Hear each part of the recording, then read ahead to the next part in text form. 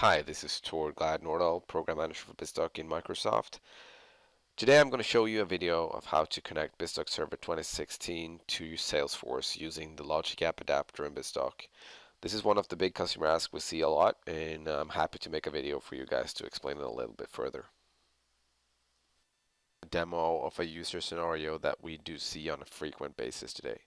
As we're moving integration into more and more hybrid integration stories, we see a lot of customers investing in SaaS solutions up in the cloud, one of them being Salesforce.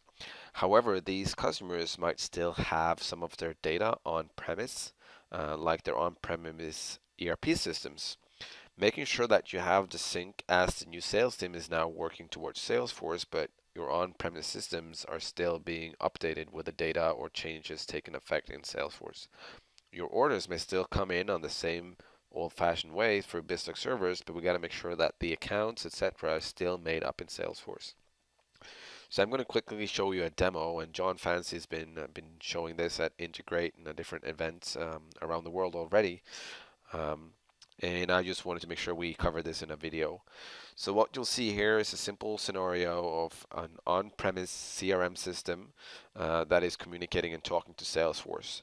So whenever a new order comes in, the order is being added, but at the same time, we're just making sure that the account is created in Salesforce and then updating Salesforce with a new account if it doesn't exist. And I'm also going to show you when I make a change to my account in Salesforce that it is being updated to BizTalk Server on-prem and the ERP system. So this is my database. I'm running everything on a local machine here, so you'll see everything together. But pretend this is our ERP system. As you will see, there's there's currently no order. Uh, there's nothing in my system today. There's no customers. I'll take you up so you can take a look at Salesforce as well. As you can see, there is currently only one account name in my Salesforce account called Contoso. Uh, what I'm going to do is I'm going to go back to um, where I'll drop my order so I have this order text. As you can see here, I do have a message, one being company name, BizDoc Company Incorporation. I have my contact details for the sales rep in that company who's making the order, and then information about my order. So in this case, it's a it's a simple widget, quantity of 15, and the price is 9.99. What I'm going to do is I'm going to copy this message, and I'm going to rename it to XML, which is the file mask I'm using for BizTalk to pick up.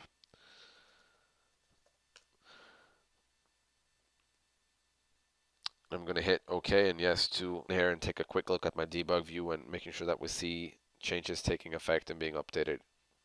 So we can see the receive orders coming in, the customer is being looked up, we cannot find it. Uh, we're sending the customer to Salesforce, Salesforce up in Azure through the Logic App adapter in BizTalk. We're checking to see if there's any discount for this customer through rules and then we're making sure we send the order to our SQL database and we can see as we do this we get the reply from Salesforce where we receive the account ID that is being created up in Salesforce. Uh, we insert this account ID into SQL Server again and we do have a sentiment rating to see how happy this customer is and it's a 0.86 in this case. The customer is being inserted in my SQL database on-prem and the order number is being created based on the details that just happened up here. So what I'm going to do is I'm going to show you in SQL Server what actually happened. As you can see here, these are the customers I have in my database today. Uh, we do have the BizDoc Company Incorporation popping up here with the customer SIP and their rating we have for them. Um, however, we don't have the city or the street for this company. We can also take a look here and we can see that there's one order in with the ID we just saw and the date for when we received it and whatever they ordered in that specific order. So let me quickly show you what's happening in Visual Studio. Basically what's happening in the beginning, we do get a new order. This is the file pickup we had. We're making sure that we look up to see if this customer and, and account already is registered in our system on-prem. If not, we'll go ahead and create it going down into the next step here. So if there's a new account, we're, we're making sure that we create it. We also update Salesforce with this information to confirm that we actually have the right account.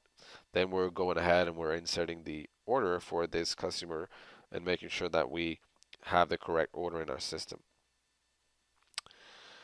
What's going to happen next is we're going to go into Salesforce. We're going to make some changes. We'll have a Logic app running in the cloud. That's basically going in and just confirming that we have the latest uh, we'll get the update based on what we changed in Salesforce. This is going to be pushed back down to BizTalk. BizTalk's going to receive this update. It's going to make sure he adds the data and updates the SQL database with the correct information. So let me go into Salesforce again.